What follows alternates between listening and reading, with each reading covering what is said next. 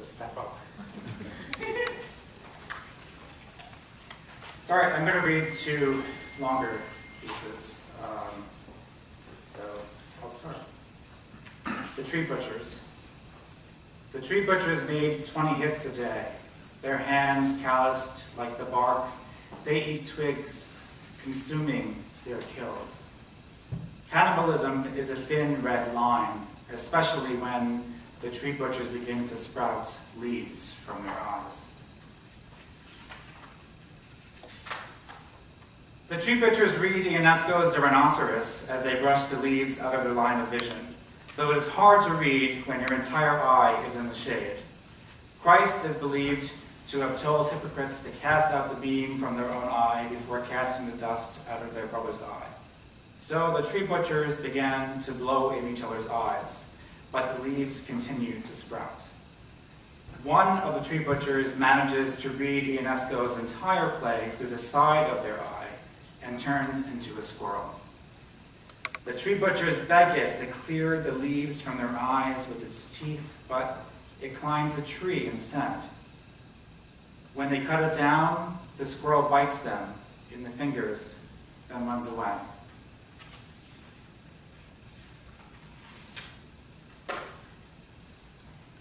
The blight of the tree butchers infected, them each at a different pace. Some began to root, whereas some continued to cut. Eyes were not needed to butcher. Their bodies had its rhythms in their bloodstreams. Soon, all the tree butchers took root, and the cutting stopped, along with the growing. The tree butchers petrified, and the squirrels bit off their broken branches, trying to save their homes and the tree butchers' mouths to no avail.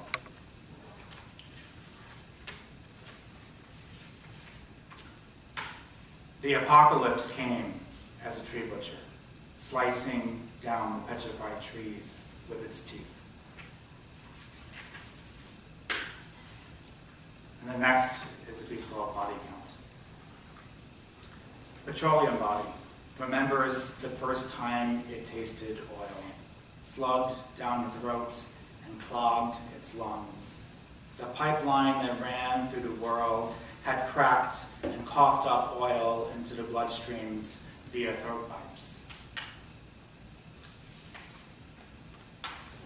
Gasoline body. Gasoline body wanted water so badly it went right to the source pipe, but thick was the color of salvation that day. One could see gasoline body's breath congealing at the moment of contact, as if the breath had become an object that someone put in one's pocket, shimmering. There is still a shape lodged in the dirt from the day that gasoline body hit the pavement, and pain fracked a scream from the throat in the shape of an olive that gasoline body now keeps under its pillow to feed its nightmares.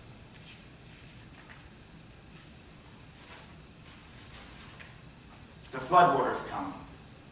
Leave or you will be the cause of your own deaths. You've had due warning. A bedridden body closes its eyes. Should have left, they scream. A body with no wheels, just feet, and a dozen cans of Campbell's creates a makeshift pantry in its bathroom medicine cabinet. Must not care about their lives, they taunt. Prison bodies crouch in their cells, used to being left behind.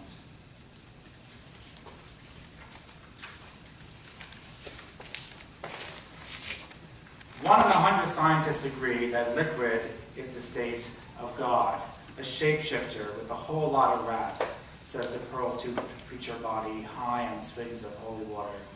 A slumped turnip body with a lab coat nods behind him.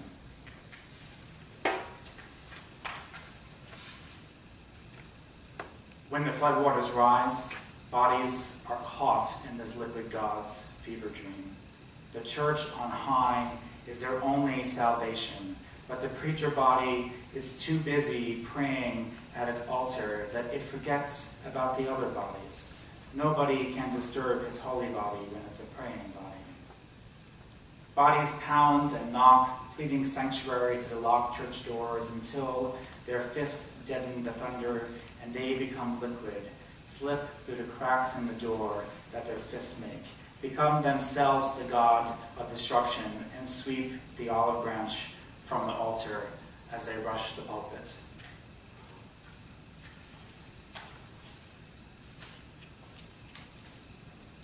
Some important white man once said, those were the pearls that were his eyes.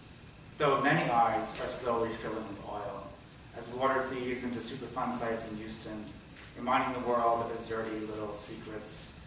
But some bodies have always been haunted, their houses built on toxic remains, their bodies breathing in dust of industry's buried bones, lead in the stomachs of bodies in flint, oil and blood, breast milk, saliva, of those whose bodies will never become pearls, who were gifted coal eyes as pearl bodies ate oysters in the sky. And to go one, one more very short Goose, and I have to thank Joseph for that title, because it was called Goose Feathers some shit before that, and now it's Goose is a lot better, and sorry I said that. um, so, Bullet Goose. There was a goose who lived in my grandmother's attic. It had lived there since the First World War and had bullets in its flesh where feathers once grew. And its daily cuckoo-clang rang in our ears each morning as it dragged its cyborg body across the unfinished floor. Every now and then, it would bury its face in the pink insulation so as to shield its beak from our eyes, because it was graying and wrinkled, and come to think of it, not very goose-like at all. I'm done.